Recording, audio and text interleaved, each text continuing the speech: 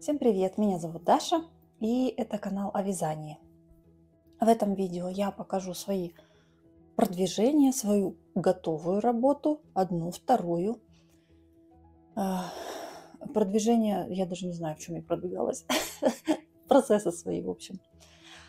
А, как вы э, знаете из предыдущего видео, я участвую в проекте, в совместном проекте «Тайная коробочка» от Абельнит. И прошлую неделю, каюсь, я не выкладывала видео. Ну, особо и показывать было нечего. Во-первых. А во-вторых, я же школьница, мне сейчас некогда, а, а предыдущие выходные были тоже заняты все. Вот сегодня суббота, сегодня э, до обеда есть время поснимать. И э, я вам покажу, э, что я э, связала, что у меня тут из пряжи осталось. И сначала давайте познакомимся, не познакомимся, под, э, вспомним, да, э, участниц этого проекта.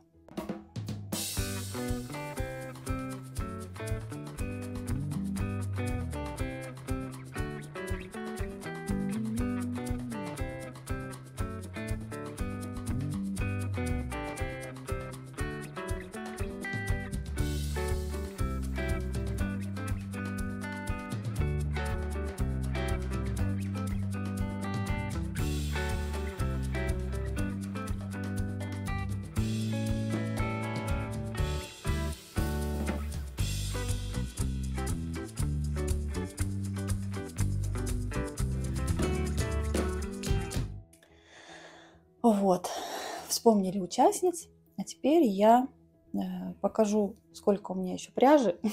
еще два мотка. Больше половины, скорее всего, в каждом. Да, больше половины в каждом, и у меня еще на что-то хватит. А связала я из, из этой пряжи вот такую шапку. Это Амстердам. Я давно его хотела связать из чего-то такого ворвиглазного.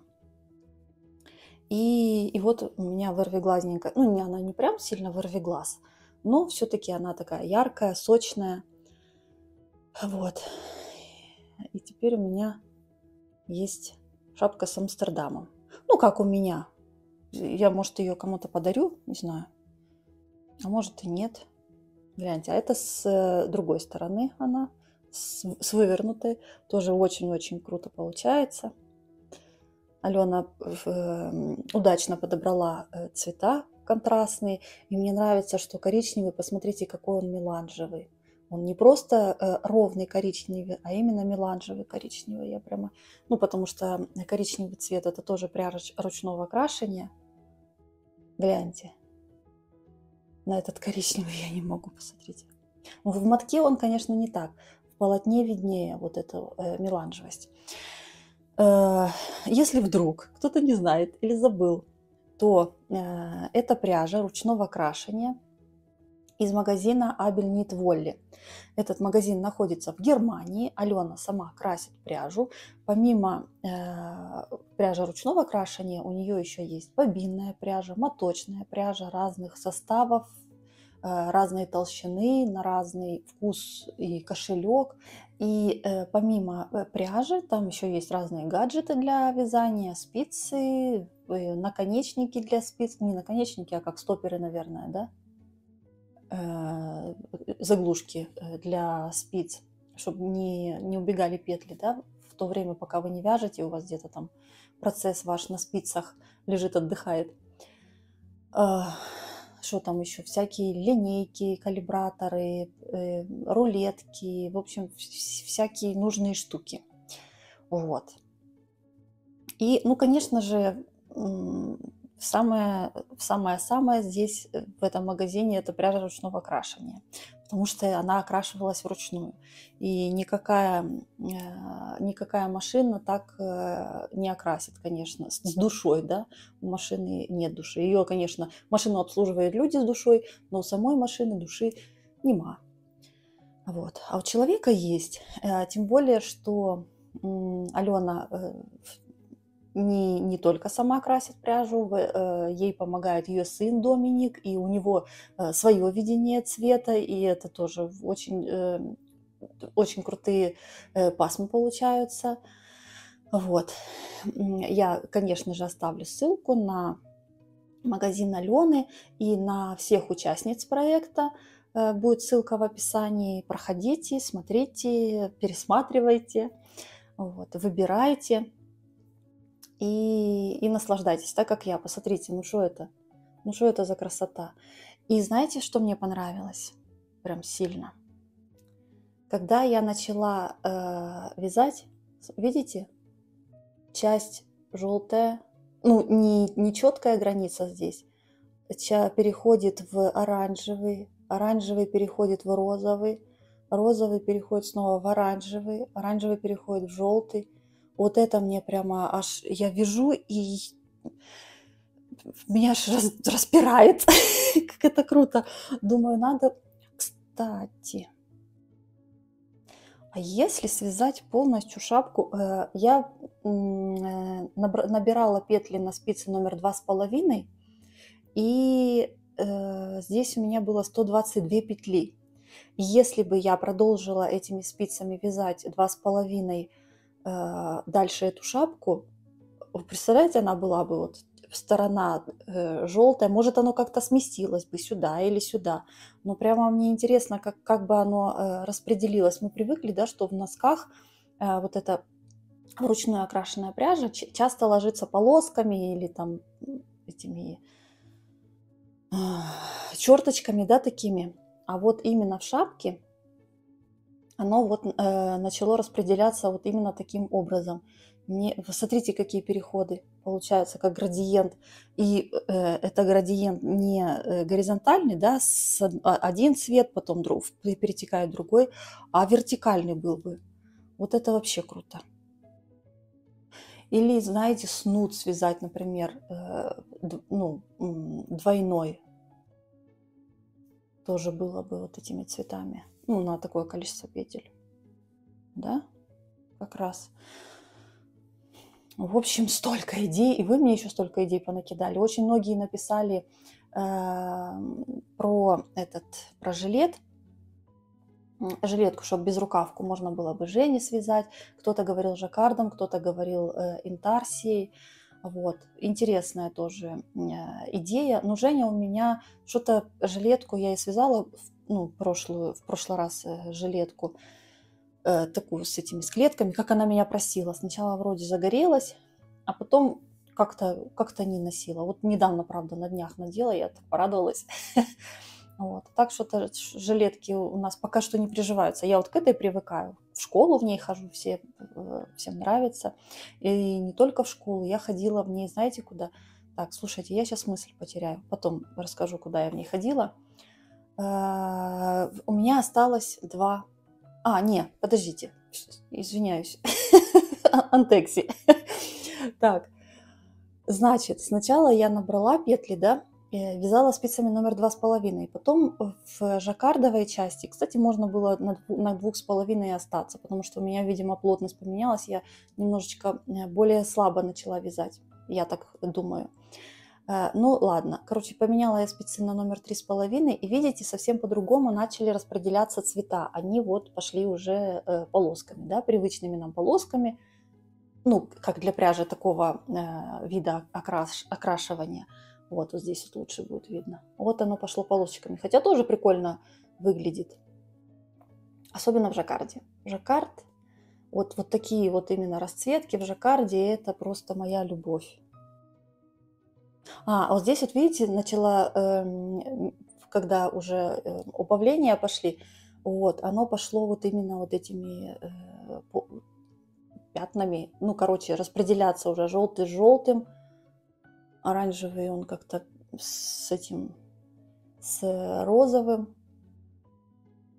Ну, интересно, распределяются цвета, мне прямо нравится. Здесь вот порозовее, да, сторона – Э, шапочки здесь пожелтее. Вот. Тут полосочками. Прямо от гарнюня. Гарно-гарно виходить. Вот, так что Амстердам у меня есть. Эта шапка, я вот ее кручу, она э, влажная еще. Я вчера вечером ее постирала, и она еще не высохла.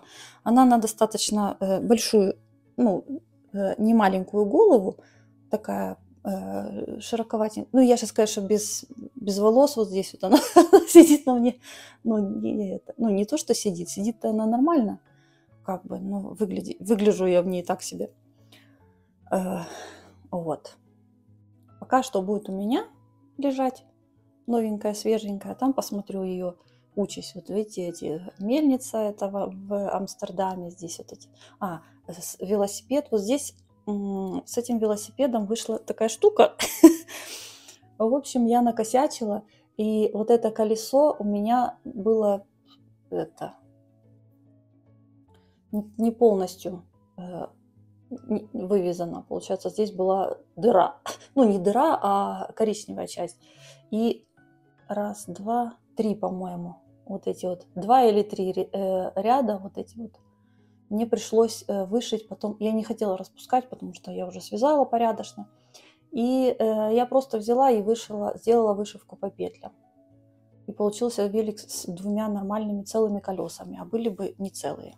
И с этой стороны точно так же. Соответственно, где тут? Вот здесь вот с этой стороны. Где я вышивала? Да, вроде тут. Вот. Точно так же здесь я вышила уже э, коричневой пряжей по петлям, чтобы не распускать. Так вроде незаметно. По крайней мере, издалека точно незаметно. Если уж присмотреться, то видно.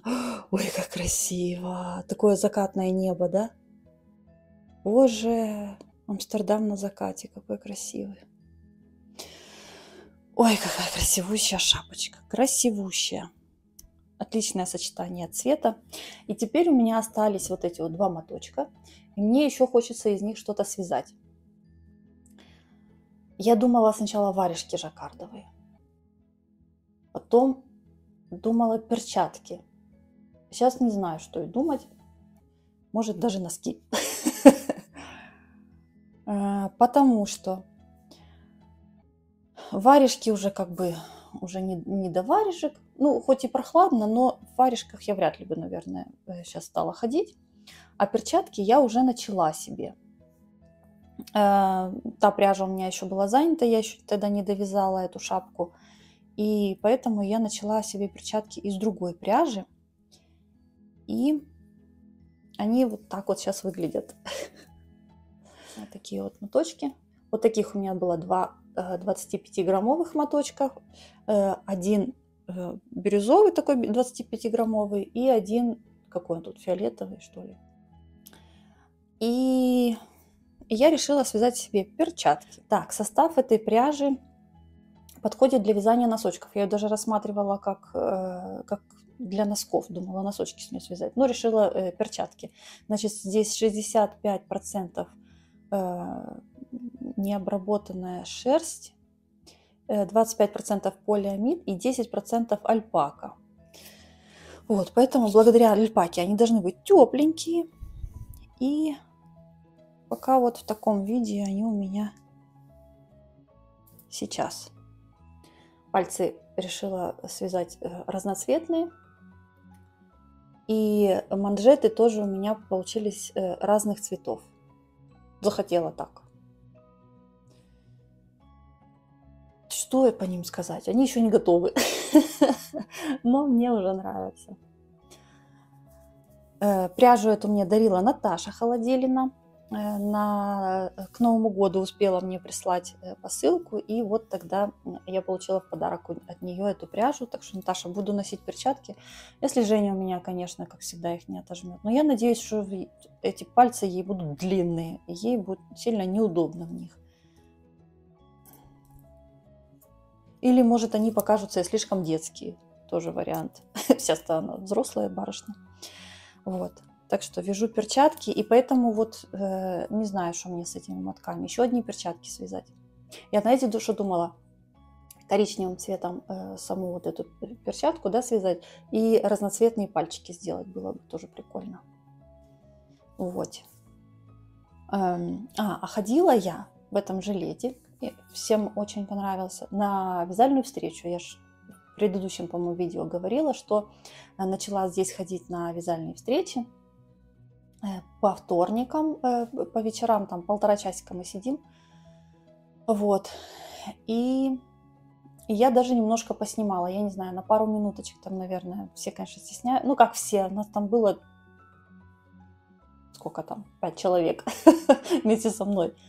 Вот. И э, они, конечно, жутко стеснялись, и я мало что э, понимала, что они говорили. Ну, смысл как бы понятен, и я сейчас немножко больше стала понимать, потому что уже три, сколько я, три недели отходила или две в этот на курсы э, финского языка. Вот. И, и туда с удовольствием тоже хожу на эти вязальные встречи, про, про, прокачиваю свои языковые способности, хотя бы пока слушаю. Говорю мало, еще пока стесняюсь, а, а слушать слушаю и улыбаюсь. Знаете, как это? Улыбаемся и машем. Вот. И э, вставлю сейчас немножечко, что я там наснимала, не знаю, не помню уже. Ja tämä on S, Selena, tämä J, Joona. Mm-hmm. Ja he itse valitsivat, mitkä langat. Ja tästä aina lasketaan, kun tyhjä. Yksi, kaksi, kolme. Tämä nostetaan mm-hmm. tuonne. Mm-hmm. Ja sitten taas oh. yksi, kaksi, kolme. Tämä. Noin. Ja sitten tänne tulee sitä ystävänauhaa. Mm. Ja sitten sä saat laittaa tähän Угу, угу. Ну, шнурочек, да, такой получается? Угу. Ага. Ага. А это уже другое, да, плетение? Mikä voisi olla ystävän nauha? Friendship bracelet. Okay. Угу, угу. Tämä on Joona. Угу. Ой, это прямо такое угу. витое. A boy and girl. Угу.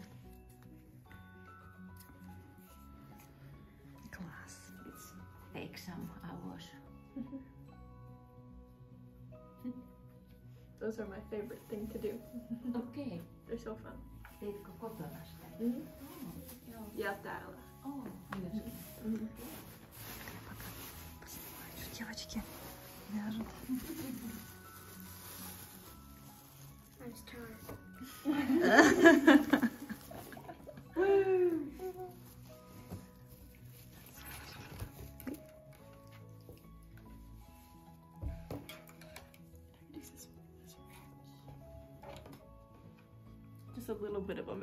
here.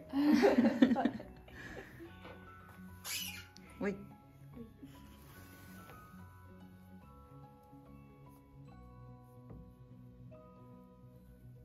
Так, тут у нас прихваточки. Näitä tarvitsemme keittiössä. Mm-hmm. We need these in kitchen. Для кухни. Угу, угу. Your old one. Угу.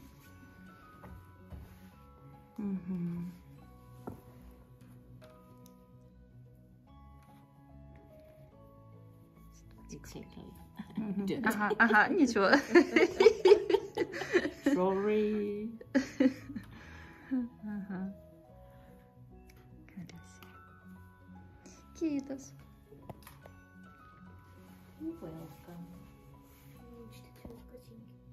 Узоры, да? Угу. А что это за журнальчик?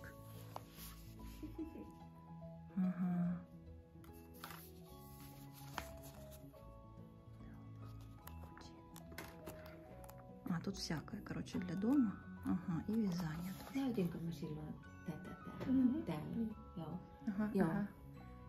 Tämän, tämän mä olen tehnyt itse, tämän puvun. Да, да, да, да, да. Joo. I do that myself. Угу. Mä ajattelin, että tämä voisi olla kiva. Угу. Ja sitten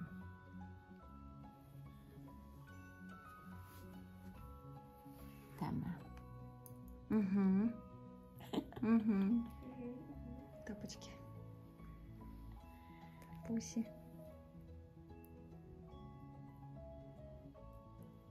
Tämä lanka ja tämä lanka.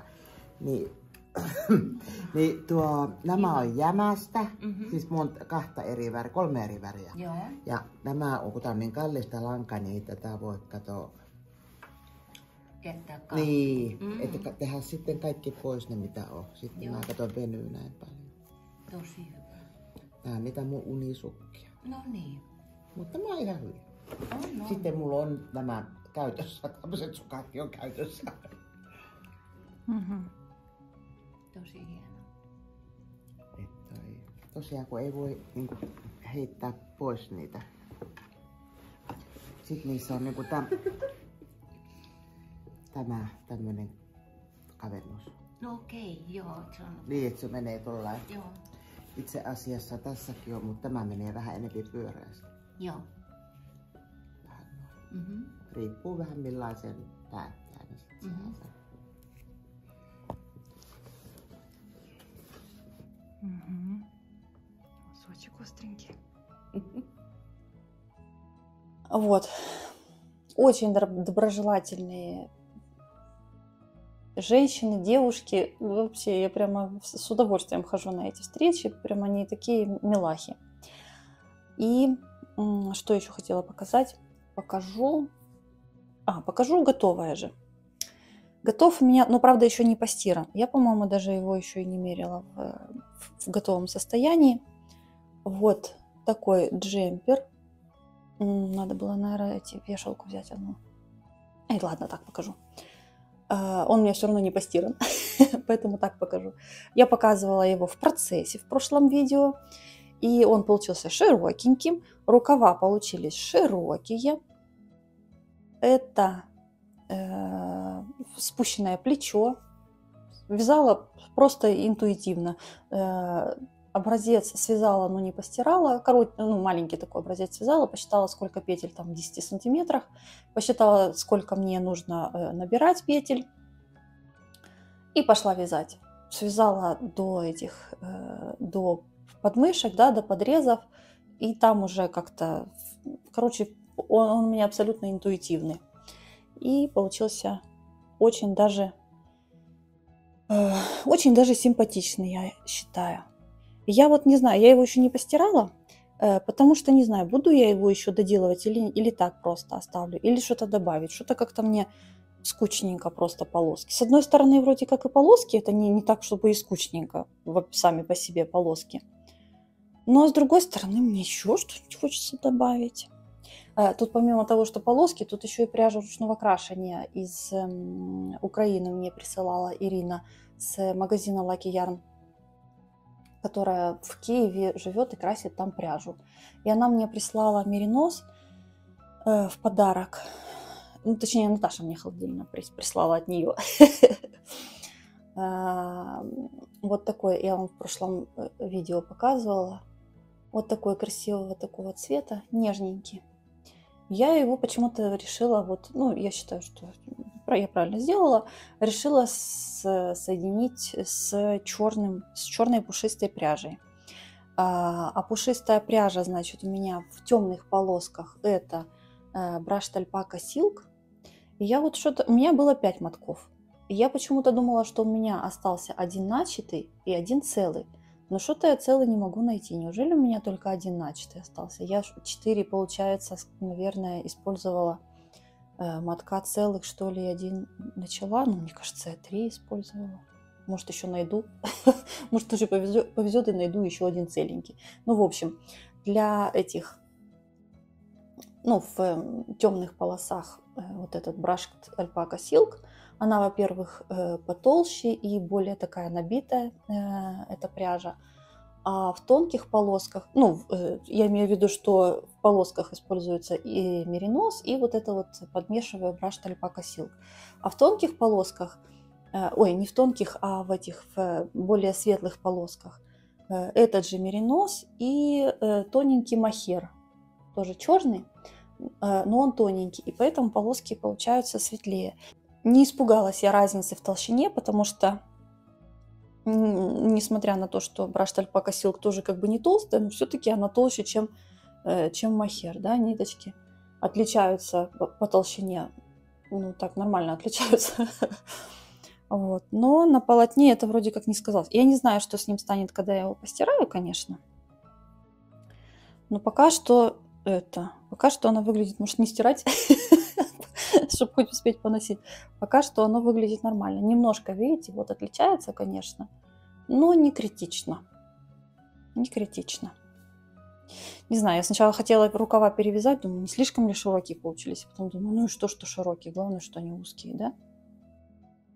А, а вот здесь вот в последней полоске, получается, вот, вот даже видно, по-моему, вот здесь, я использовала, потому что, ой, мне бы вряд ли хватило еще на оба рукава, вот, вот на, на такую, э, что там, высоту, да, э, вряд ли хватило бы вот этого. Может, и хватило бы, но я бы сильно нервничала, оно мне надо. Поэтому я взяла носочную пряжу, э, тоже ручного окрашивания, тоже от э, Lucky Yarn, и, и связала э, этот кончики рукавов, в общем, другим цветом. И оно практически как бы особо и не отличается. А даже если и отличается, то ну и, и интересно даже. Вот. И так, э, так интересно получилось вот это вот э, белая, ну не белая, очень-очень светлая пряжа и э, черная э, пушистая ниточка. Мне прям понравился эффект. Вот, буду такая эта пчелка ходить, полосятенькая. Ну, не знаю, что-то вышить еще здесь или нет. Не знаю. В принципе, как бы он и так самодостаточный. Ну, мне хочется... Мне не, не то, что мне что-то здесь не хватает, но мне просто хочется добавить. Вот. Э, по-моему, я его еще не взвешивала. Шапку взвешивала. Шапка у меня весит 70 с копейками. 76-78, по-моему, грамм. Вот, так что э, если использовать 50-граммовую пряжу, то двух 50-граммовых моточков э, хватает. Так, и что? И последнее я покажу. Ой, я еще веретена не взяла. Ну ладно, уже в следующий раз, я надеюсь, не забуду. Потому что у меня там напряденная ниточка есть на веретенах. Я ее потихоньку-потихоньку, прямо редко-редко, э, когда сажусь прясть. Уже вязать надо. А сейчас я вам покажу носки ну, начатые носки с этими, с волошками, с васильками. Блин. Вот, я надеюсь, что понятно, что это васильки, ну, хотя бы по цвету, да? Э, я нарисовала эту схему э, в этом в фотошопе, ну, как я обычно, если отрисовываю цвет, схемы, то в этом фотошопе. Схемы именно для жаккарда я имею в виду, потому что такие схемы я не рисую. Э, ажурные там или эти арановые. А вот для жаккарда, пожалуйста. И получились такие васильки. Я отрисовала э, такие схемы для 64, э, да, для 64 петель, для 68 и для 72. Вот здесь у меня 72 петли. Да, вот. Это самая широкая, получается, схема. И я, чтобы не нервничать, что оно там, что там не стянет, не стянет, уже решила на максималках все это сделать. Вот. Такие волошечки получились. И вот я начала второй. Что-то мне кажется, мне надо будет немножко э, распустить несколько рядов, потому что чуть стянутые они. Я еще посмотрю, сравню. Мне кажется, они подстянуты последние. Ну, здесь, конечно, ничего не понятно, тут-то виднее уже. А после стирки будет еще виднее. Кстати, до стирки тут очень кривые петли. Очень. Сейчас покажу.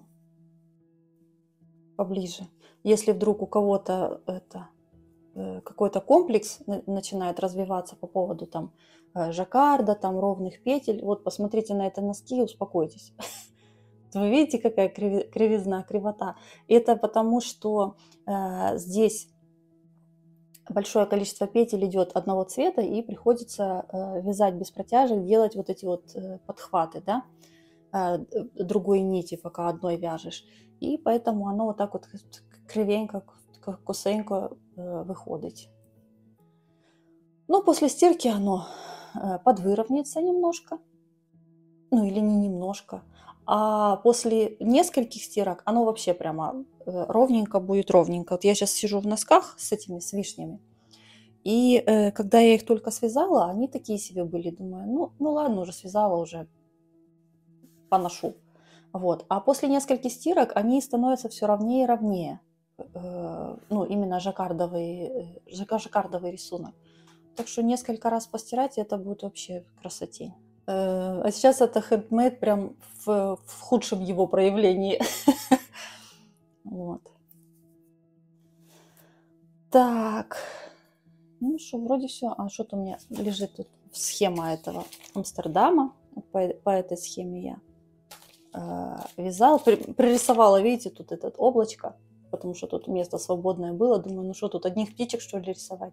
Пририсовала облачко и, и птичек. Так что у меня Амстердам, вон, это, местами облачно. И с птичками. Потом чайки, наверное, да, летают.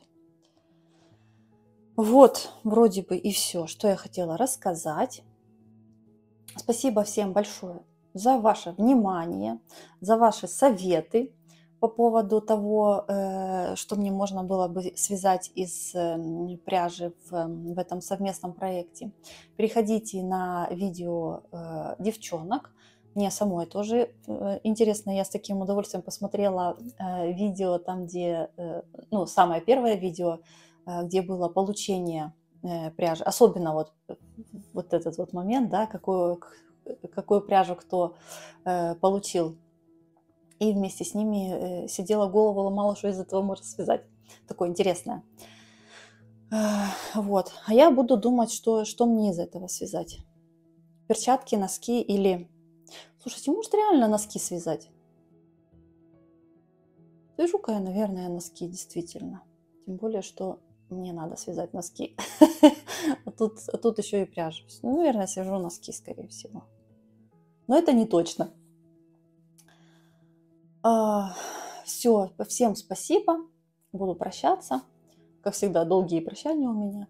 А, спасибо за просмотр. Приходите еще. Вяжите а, со мной вместе за компанию. Говорите, что вы там вяжете, к лету готовитесь или нет. Потому что в, у девчонок в Инстаграме смотрю, в Одессе уже там эти что там, абрикосы цветут вовсю. А у нас вон снег еще лежит за окном. Вот. И что всем всего хорошего, здоровья, мира, Украине, победы скорейшие уже, поскорее бы. Сколько я еще могу вот это вот в каждом видео желать победы? Как, как бы ее так приблизить бы поскорее? А, украинцам терпения и этих заряженных гаджетов, э, электроэнергии стабильной, потому что опять там беда с этим. Заканчиваю на не очень грустной ноте, но ничего, все будет хорошо все равно. И я всем этого желаю. В Украине особенно. Все, всем спасибо, пока-пока.